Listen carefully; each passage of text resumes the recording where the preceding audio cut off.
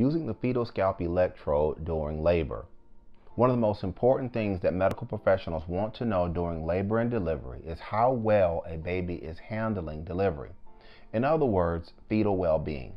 Fetal well being can be monitored in multiple ways, with one way using the fetal scalp electrode. If fetal well being deteriorates, then the baby can suffer an injury, with one type of injury being the traumatic brain injury hypoxic ischemic encephalopathy. So, why does fetal monitoring matter? During labor and delivery, a baby, along with mom, is under a lot of stress. From contraction patterns to other factors, this is a stressful process. Monitoring a baby allows doctors and nurses to understand things like the baby's heart rate, to certain types of acceleration and deceleration patterns. In addition to accels and decel patterns, doctors and nurses can also monitor variability. These things that were just mentioned are important because they go to how well a baby is tolerating a vaginal delivery.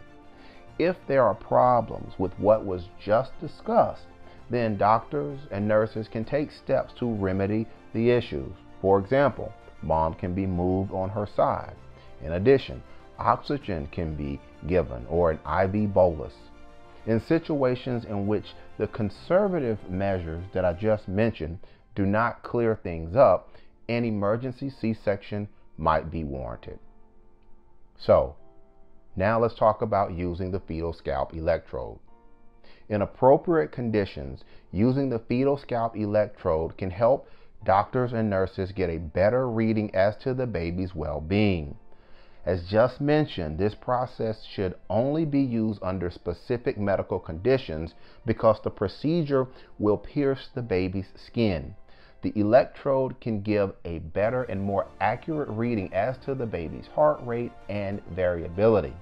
Although the monitor on mom's belly can give good readings, in some cases the fetal scalp electrode will be used if there are problems assessing the baby's heart rate among other things.